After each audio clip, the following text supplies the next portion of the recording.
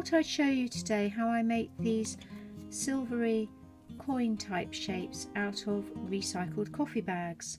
I've been meaning to try this for a while and I eventually got round to having a go the other day and I tried a few different ways of making them and I will show you the way that I found works best. I tried doing things with the oven and I tried a heat gun and in the end just an ordinary iron worked best of all. So that's that, these are the different coins I've tried making. And here's a couple of finished ones which I've stitched down here. And then this leaf shape is also a coffee bag uh, and we'll talk about that why that's not this solid silver in a moment. So I'll just move that to one side. So the coffee bag that I used I used this this one and it's it's quite a sturdy foil and it's shiny on both sides. It hasn't got um, a sort of here, here's another one so I can show you the difference. Here's another one that I was given by a neighbour and this one you can see it's got this colour printing all over one side with the silver on the other side. So this is the one that I used because this is the one that I I had at home and the coffee that we get it comes in this double pack. And so when you take off this outer wrapper you get these bricks of coffee coffee inside which don't have that printed colour. And um, by lucky chance that's the one that worked best. And I'll also show you what happens with this this sort and my other experiments. My dog food comes my puppy it comes in these foil lined plastic bags which don't recycle and I've been looking for a way to use them. And I have attempted making these silver discs using this as well but for now I'll show you the one that definitely does work. So this is the one we're going to use and it's it's just so easy. So I'm just going to cut cut a strip there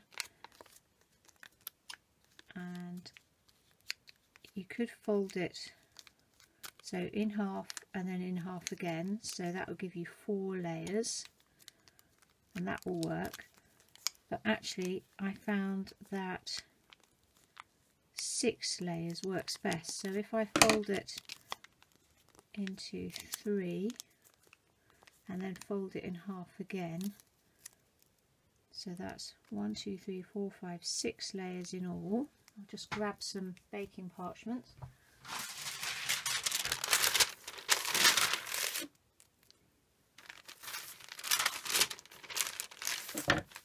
So I've sandwiched that top and bottom with baking parchment. And I've got a very hot iron, I'll just put that a bit higher. And press quite firmly. And you need to make sure you do this in a room that's got really good ventilation because there is a plastic element to this and so it doesn't smell too good when it's getting hot like this.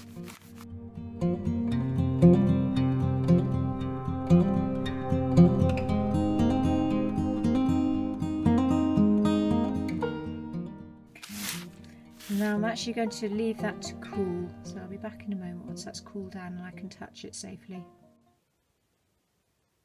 Okay so this is the piece that I fused with the iron just now and you can see it's actually quite firm because I've got those six layers and they've all fused together beautifully.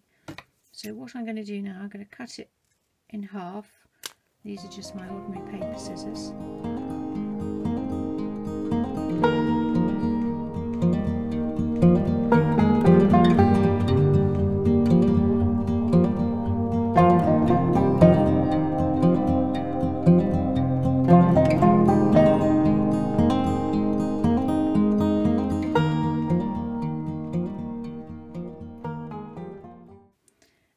Tried a couple of different ways of getting the hole in the middle. I tried poking a bradawl through and that didn't really work very well so I found the best way of getting that central hole with my um, uh, eyelet punch pliers. So I'll just position that in the middle and squeeze.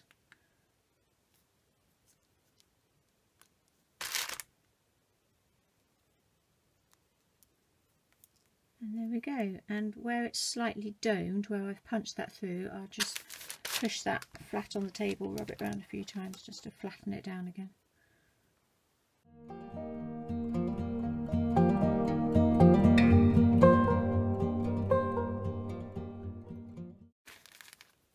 So I really like those, nice and simple, but with the six layers, they're actually really sturdy and they've still got that shine.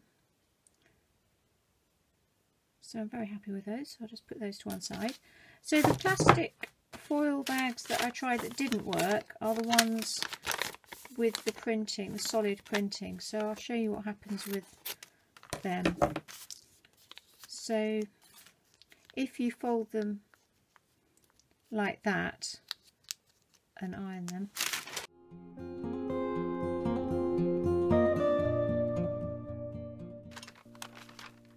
bit hot but you can see it doesn't fuse at all.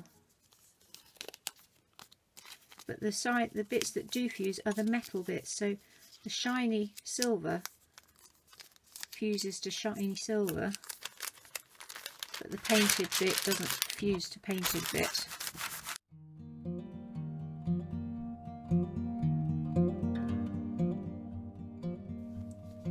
So it's firmer than it was originally. That's quite floppy. So that's a little bit firmer. what you could do then, you could cut, you can still use it, you can cut shapes out of it. Quite like that bit of the Instagram logo there. So you can cut leaf shapes. So there's a few Blue style. Here's a few that I did earlier and where's my sketchbook gone? So on this piece here, that's how I've made this leaf shape there.